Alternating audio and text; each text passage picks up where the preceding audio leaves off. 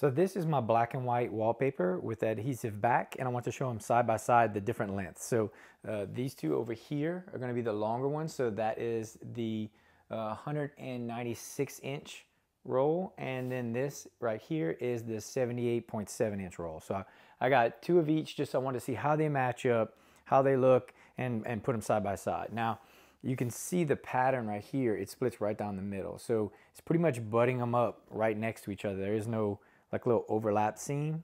So um, that way the pattern lines up nice. I mean, you can see right here, it just catches right there and makes the bird.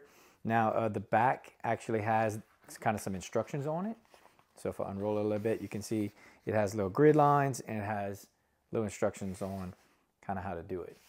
So it should be real easy to peel off. You can see right here, they left a little edge.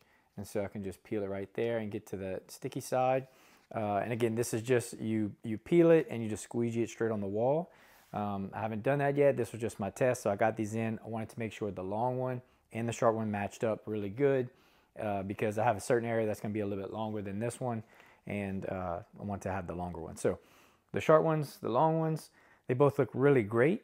And uh, I'm not installing them on my wall today, but I wanted to just open them up, give a better view, and kind of see the difference, you know, in the two rolls and uh, a little bit, just a little bit more about them. But I think this is going to be some great wallpaper. I can't wait to put this uh, on my new house.